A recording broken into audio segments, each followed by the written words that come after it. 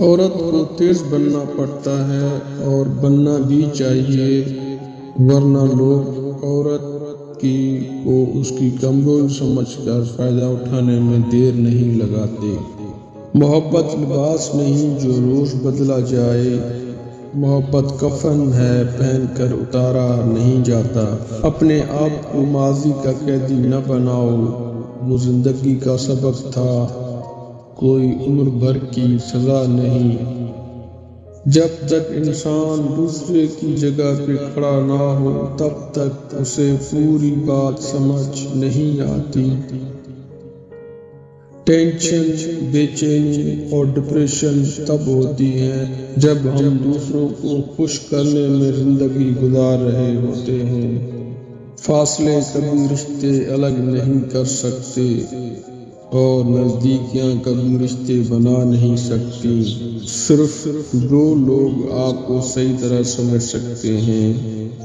ایک وہ جو آپ کے حالات سے گزرا ہو اور دوسرا وہ جس کو آپ سے شدید محبت ہو۔ جو لوگ کامیابی کا زینہ لگا کر زندگی بسر کرتے ہیں، شاید وہ خوش تو رہتے ہیں۔ لیکن مضبوط نہیں ہوتے۔ لیکن جو لوگ شکست سے آسنارا کر کے زندگی گزارتے ہیں، مضبوط بھی ہوتے ہیں، اور قابل اعتماد بھی۔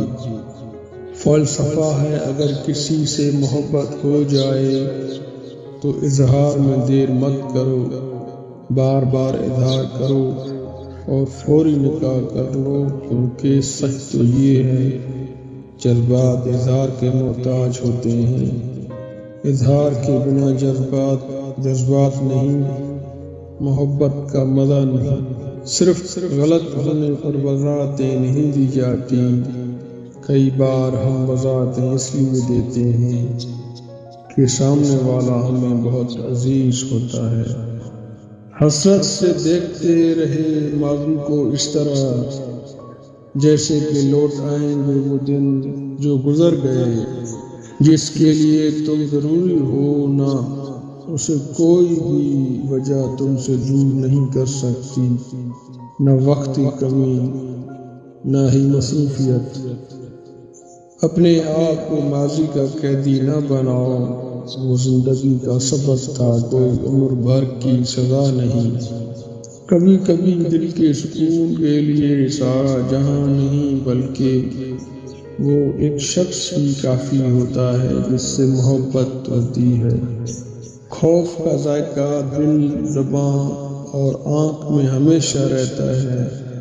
اس کے ہاتھوں تنگ آ کر انسان خوشامدی ڈرپو بزدل، جھوٹا اور جمپی ہو جاتا ہے۔ خوف نہ صرف شخصیت کو کھا جاتا ہے، بلکہ ایمان اور روح بھی اس کی ضد میں آ کر موسم زدہ لکڑی کی طرح کھوکھلے ہو جاتے ہیں۔ خوف زدہ ماں جب بچے پالتی ہے تو انہیں عظیم تربیت نہیں دے سکتی۔ محبت اپنی مرضی سے کھلے کمرے میں تودے کی طرح بیٹھے رہنے کی صلاحیت ہے۔